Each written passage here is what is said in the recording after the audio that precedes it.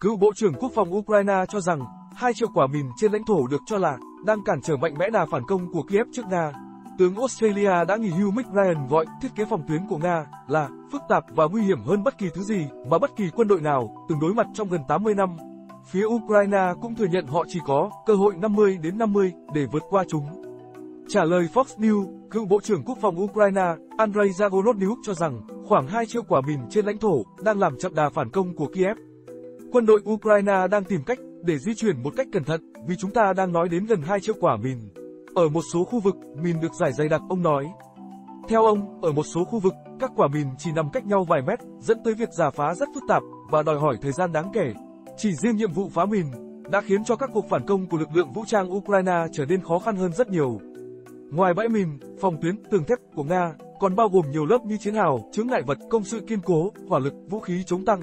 Có những khu vực, các lớp phòng tuyến của Nga chạy sâu hàng chục km, tạo ra thách thức lớn cho cuộc phản công của Ukraine.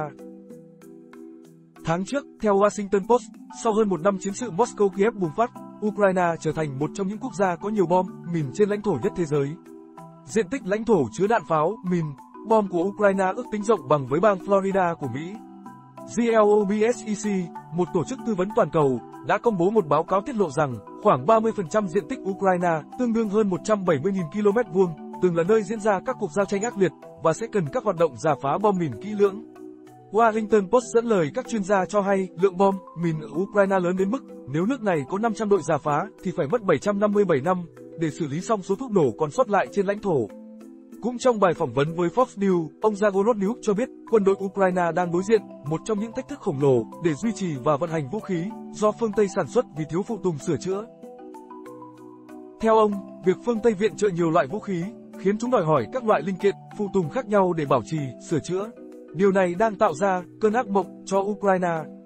Ông kêu gọi phương Tây cung cấp thêm nhiều linh kiện, bộ phận vũ khí hoặc cho Ukraine cơ hội có thể tự sản xuất những phụ tùng này trong nước. Theo ông, phương án tự sản xuất sẽ cải thiện đáng kể tình hình, vì điều đó có nghĩa là việc bảo trì sẽ diễn ra nhanh hơn nhiều.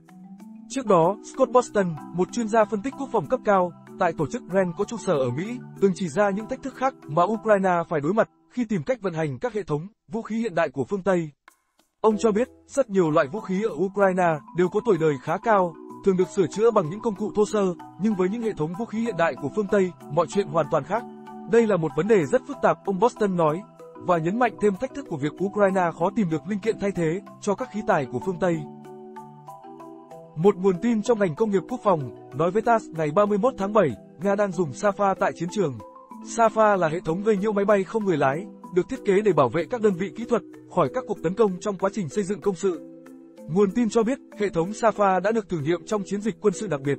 Nó được sử dụng để bảo vệ các đơn vị kỹ thuật tham gia xây dựng các công trình phòng thủ khỏi các cuộc tấn công của máy bay không người lái. Safa tỏ ra rất hiệu quả, và các binh sĩ không lên đường thực hiện nhiệm vụ mà không có nó. Safa có thể được sử dụng chống lại mọi loại máy bay không người lái. Khi phát hiện mục tiêu và xác định mục tiêu đó là thù địch, Safa sẽ tự động xác định mức độ nguy hiểm, gửi tín hiệu báo động và gây nhiễu hệ thống điện tử của máy bay không người lái. Hệ thống tác chiến điện tử mới có khả năng phát hiện mục tiêu một cách đáng tin cậy ở khoảng cách lên tới 30 km và tác động đến chúng trong phạm vi 5 km. Safa cũng có khả năng gây nhiễu các trạm điều khiển, máy bay không người lái trên mặt đất. Các lực lượng của Ukraine đang phải đối mặt với nhiều thách thức nguy hiểm, từ hàng triệu quả mìn, máy bay không người lái tích hợp thiết bị ghi hình, UAV cảm tử Lancet, thiết bị gây nhiễu và có thể vô hiệu hóa hoạt động của UAV, tên lửa tầm xa, trực thăng tấn công, mạng lưới cảm biến và đường liên kết dữ liệu. Thậm chí cả khi các bãi mìn được dọn sạch, chiến đấu cơ hoặc các hệ thống pháo có thể nhanh chóng giải đạn khắp chiến trường.